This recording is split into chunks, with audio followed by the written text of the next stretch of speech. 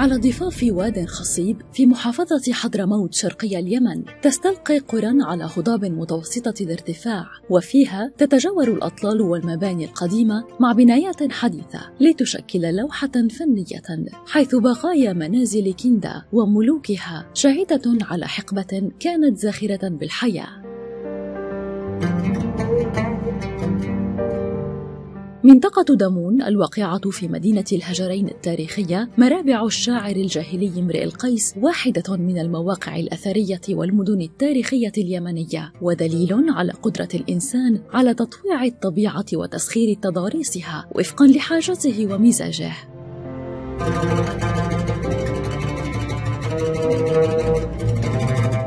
معرفتي بمدينة الهجرين الجميلة المميزة كانت قبل سنوات كنا مسافرين في طريق وادي حضرموت أنا وبعض الشباب. وكان معنا أحد شباب وادي حضرموت فاستوقفتنا المدينة انذهلت. قلت إيش اسم هذه المدينة اللي موجودة على التبه الصخريه هذه الكبيرة؟ فقالوا لي هذه بلاد اسمها الهجرين مدينة تاريخية قديمة جدا. هذه بلاد امرؤ القيس. تبدو الهجرين هنا كلوحة فنية تستلقي على صخرة ضمن عدد من القرى المتناثرة في وادي حضرموت اليمني. تذكر المصادر العربية أن ملوك كندا وشاعرها الجاهلي امرأ القيس سكنوا شرقي اليمن واتخذوا من دمون قاعدة لمملكتهم وكانت ربوع دمون وأوديتها الخضراء مبعث شعره. وفيها يقول امرؤ القيس تطاول الليل علينا دمون. دمون إنا معشر يمانون وإنا لأهلنا محبون. الحديث عن مدينة الهجرين التاريخية حديث طبعا له دلالات عظيمة. كون هذه المدينة الهجرين مدينة تضرب في عمق التاريخ وتعتبر أحد شواهد الحضارة اليمنية القديمة. وكشاهد تاريخي لهذا العمر ارتباط القرية أيضا بالشاعر اليمني الكبير الجاهلي إمرؤ القيس. على قمة مرتفعة في وادي دوعن الشهير تقع قرية الهجرين التي بنيت على حافة جرف لتمثل إرثا تاريخيا ومزارا سياحيا مهما. يبلغ ارتفاع الصخرة أكثر من 350 قدما وتشير المصادر التاريخية إلى أن بدايات بناء هذه القرية بشكلها الحالي تعود إلى ما قبل 500 عام.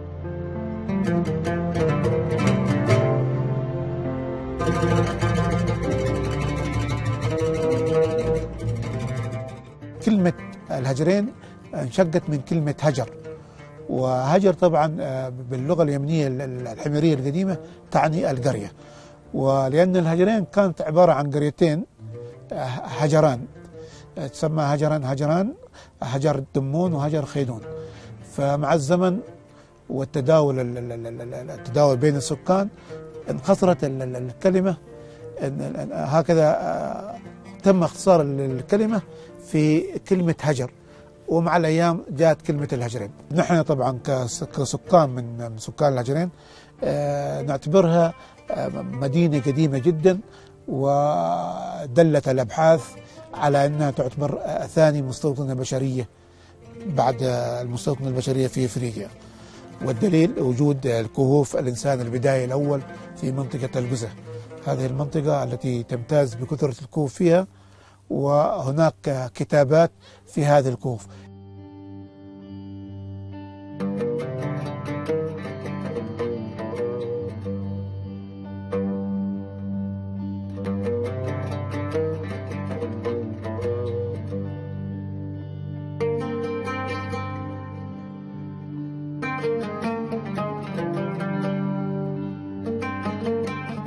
تنام المدينة وادعة في حضن جبل وتشرف على واد خضير يطوقها من جميع الجهات. إنها بناء معماري طيني حيث تتكوم بيوتها وتمتد إلى حواف المنحدرات. فتبدو المدينة كتلة واحدة متماهية مع الجبل الذي يحتضنها ولون تراب الوادي الذي يحيط بها.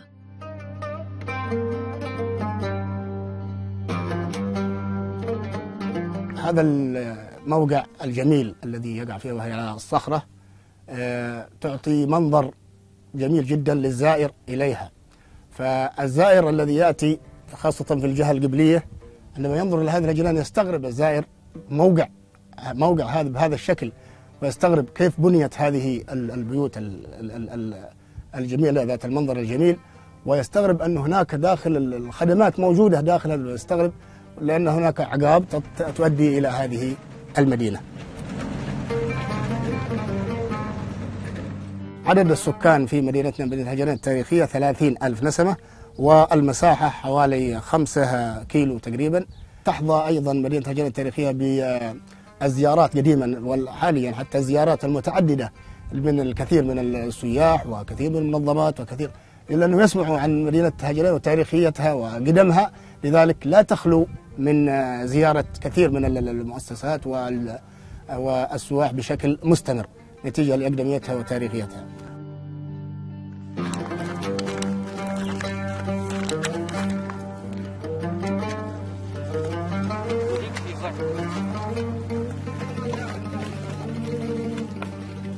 عن العمارة الطينية بمدينة الهجرين. وكيفية بناء المنازل بمدينة الهجرين. تبدأ أولا بوضع الأساس جلب الحصى وتجهيز الحصى لوضع الأساسات للبيت.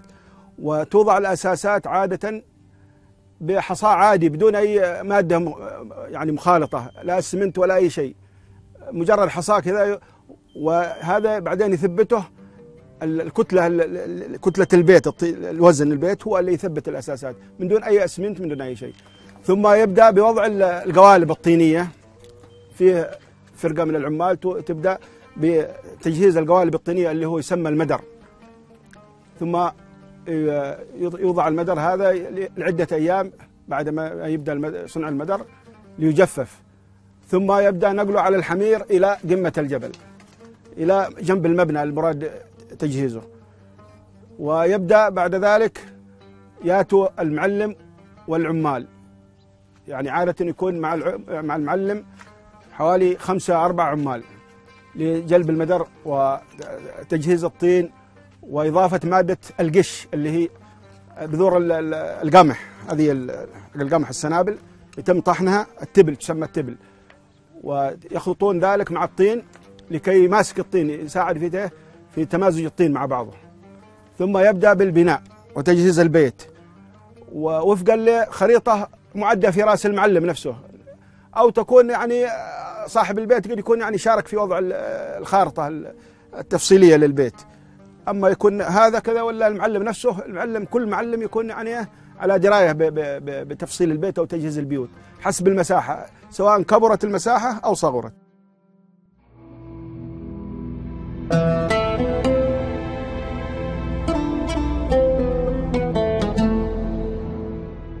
تحوي منطقة دامون الواقعة في مدينة الهجرين التاريخية العديد من المعالم الأثرية وتقع بالقرب من مستوطنة ريبون التي أقيمت على أنقاض مدينة مذاب التي يعود تاريخها إلى ما قبل الإسلام.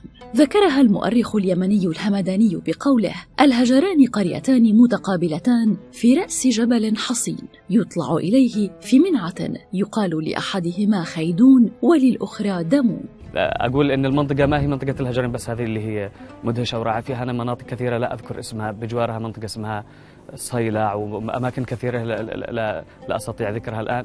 كلها بنفس الطراز المعماري الجميل. اليمن كلها عبارة عن لوحة فنية وتحفة حقيقية وضاربة في أعماق التاريخ. آه، فيا ريت يرجع السلام والأمن لهذه البلاد بحيث إني تزدهر من جديد إن شاء الله. قرية الهجرين ليست مجرد قرية طينية بل دليل على سعي الإنسان هنا لتطويع الطبيعة الصعبة وقدرته على ترويض التضاريس لتحقيق إمكانية العيش فيها مستخدما المواد الأولية المتوافرة له.